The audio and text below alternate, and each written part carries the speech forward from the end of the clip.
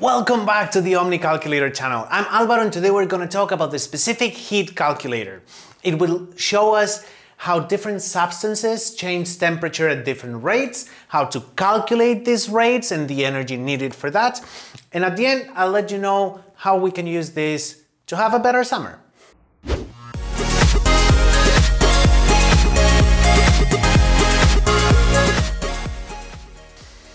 So this is the same formula we all know and love. 90 seconds on the clock, four questions to answer, and one calculator to talk about. So without further ado, let's start the timer now.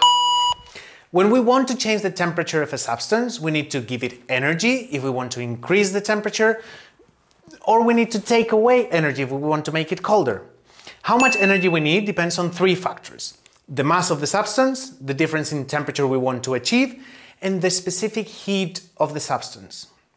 The specific heat is an intrinsic property that talks about, speaks about, tells you how easy or hard it is to change the temperature of a substance.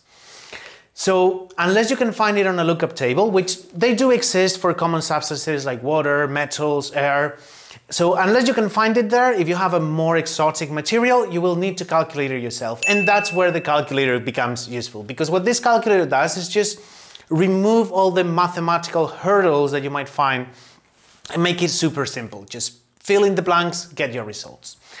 If you're wondering how you would go about measuring the heat capacity or the specific heat of a substance, it's very simple. You just take your substance, unknown let's say, you measure its mass, and you start giving it energy until it changes temperature a fixed amount, whatever you decide is best.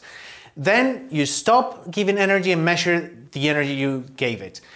That is all you need to know the, the specific heat. So for example, let's say I gave 100,000 joules to 1.5 kilograms and it changed 5 degrees. Oh!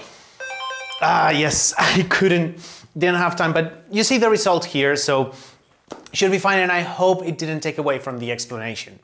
By the way, if you're thinking this is a very academic uh, calculator and it's hardly useful outside, I will let you know that we made a whole series speaking about how specific heat and other thermodynamic principles work to cool your beverages better and faster during the summer. You can check it out here. If you want other videos to watch, you can have this one, which is YouTube's recommendation. And as always, please leave us a like on the video if you enjoyed it, subscribe to the channel for more tools like this, and I will see you in our next video. Until then, bye!